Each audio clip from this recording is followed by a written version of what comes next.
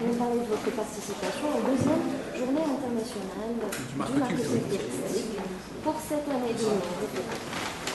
Donc euh, l'Office national du tourisme euh, participe euh, à ces deuxièmes journées de marketing touristique, d'abord en tant que sponsor de l'événement, ensuite par l'occupation d'un petit espace d'exposition qui nous a permis donc de distribuer des brochures et autres à destination des, visiteurs et des participants, mais aussi l'Office a présenté une communication sur les potentialités touristiques algériennes euh, pour, justement, euh, pour justement transmettre un message fort important, à savoir que euh, les ressources touristiques ou les potentialités touristiques ne suffisent pas.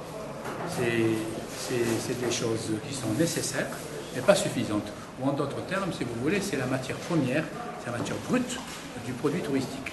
Donc, première question que nous avons soulevée, c'est comment transformer ces ressources touristiques, ces potentialités touristiques, en produits touristiques compétitifs. Et là, euh, incombe, là vient le rôle des professionnels du tourisme, en l'occurrence les agences du tourisme et du voyage, les voyagistes, les hébergeurs et tous ceux qui gravitent autour d'eux pour justement euh, leur passer un message fort important, c'est que vous avez une diversité extraordinaire en Algérie, donc vous avez toute la latitude pour euh, fabriquer des produits touristiques d'excellence, des produits touristiques compétitifs. Ensuite vient le problème du marketing. Une fois que nous avons ficelé nos produits, on se pose la question comment commercialiser ces produits? Et là, nous avons attiré l'attention sur le fait que le produit touristique est un produit spécifique. Euh, la commercialisation des prestations touristiques est complètement différente de la commercialisation des biens. Parce que vendre un voyage est différent de vendre une voiture. Une voiture, on peut la vendre ou ne pas la vendre. Si elle n'est pas vendue, on la stocke, on la revend. Une prestation touristique, si elle n'est pas vendue, elle est perdue à jamais. Donc euh, nous avons insisté sur l'immatérialité du produit touristique.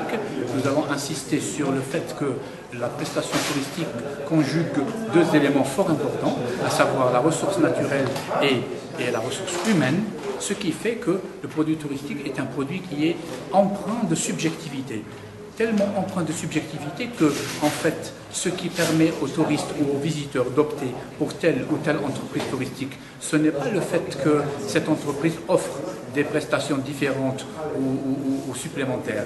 Non, c'est la dimension relationnelle qui fait la différence entre les entreprises touristiques et qui fait que le touriste jette son dévolu sur telle ou telle entreprise pour la simple raison qu'ils se sont bien accueillis, qu'ils se sont bien accompagnés, etc.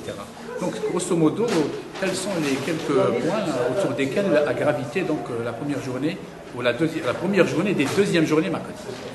Vous avez assuré également une communication aujourd'hui. Oui. Euh, le thème c'était euh, l'Algérie, euh, les potentialités touristiques et le marketing et la stratégie marketing algérienne, adoptée par l'Office national du tourisme.